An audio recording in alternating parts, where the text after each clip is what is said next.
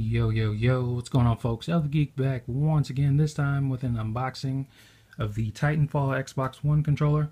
Now, I was going to get a, a, different custom controller, but um, I figured this would be the cheaper alternative. So, yeah, let's go ahead and jump right on into this bad boy. So, you can see the, the front side here. Has like a little Titan here.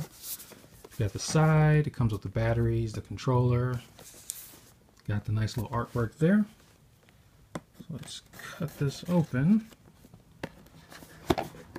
and lift it open. I definitely like the, the presentation of the Xbox One controllers and things like that. It looks pretty cool. So let's take it out. Got the batteries here on the bottom.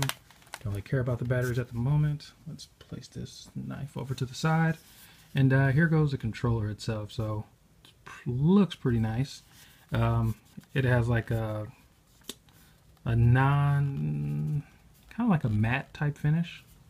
So that's pretty cool. Got the sides right here. Got the back. How it looks on the underside this side. That side so I'm um, definitely looking forward to this um, controller just for the simple fact that I like I said I wanted a custom controller. And um, I wanted to try to put my uh, day one edition controller up. So yeah now I can finally do so. But without further ado, I'm going to jump out of here and go give this bad boy some, uh, some, some, some gameplay time. But, anyways, thanks for watching. My name is El the Geek. Have fun, take care, and enjoy. Titanfall comes out on March 11th, if I'm not mistaken. And uh, I'll definitely be picking it up day of. So, peace.